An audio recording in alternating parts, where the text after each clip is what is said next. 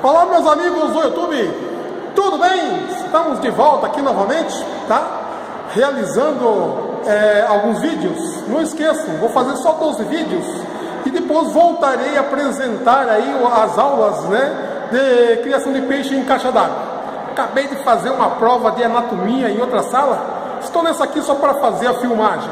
Então, pessoal, é o seguinte, as nossas salas, as salas, elas todas os professores, eles usam microfone tá? Porque o número de alunos é muito grande, varia entre 80 e a 100 alunos por sala, tá bom? E também todas as salas são climatizadas, tá bom? Então, assim, é, por mais que tenha um grande número de alunos, tá? É, a temperatura é controlada, temos microfone, então qualquer aluno, onde estiver na sala, a pessoa ouve muito bem, tá bom?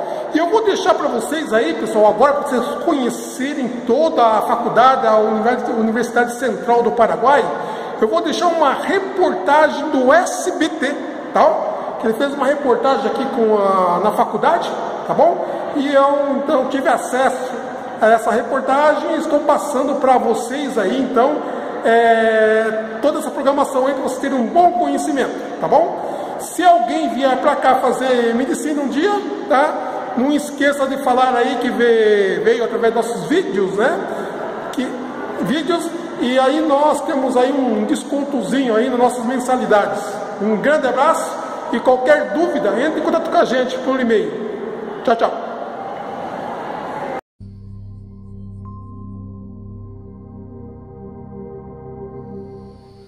Sem precisar de vestibular para entrar no curso e ainda pagando mensalidades até cinco vezes mais baratas do que em universidades particulares com sede no Brasil, é cada vez maior o número de jovens brasileiros que se aventuram em países da América do Sul atrás do sonho de se tornarem médicos.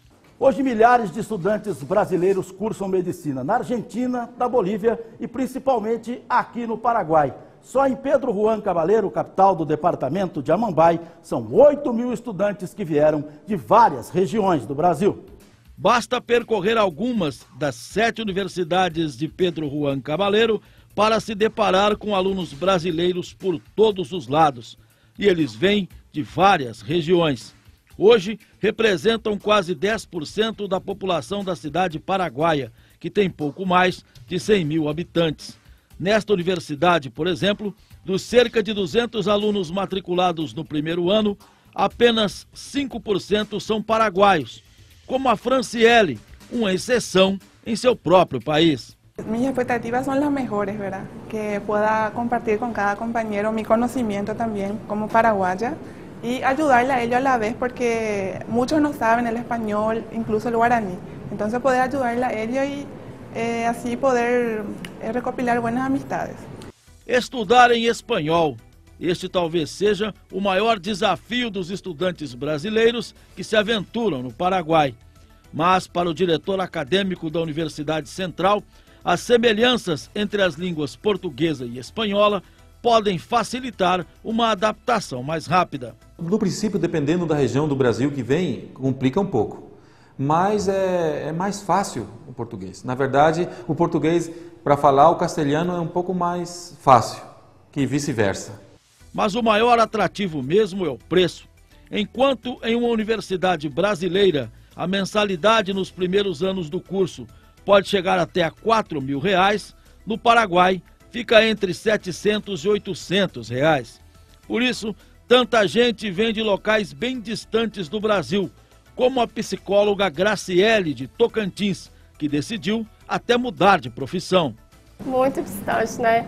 Eu formei em 2013, mas eu sempre tive vontade de fazer medicina, mas por questão financeira mesmo.